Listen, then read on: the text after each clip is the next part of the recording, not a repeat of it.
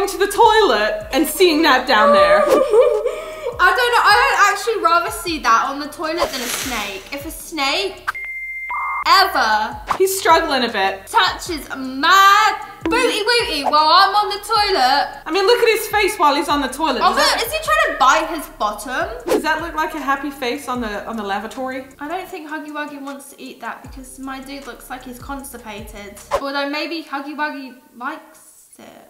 No, I think he's pulling that face because his bottom's getting bitten. What would your face be if you were getting bitten by those 15,000 teeth?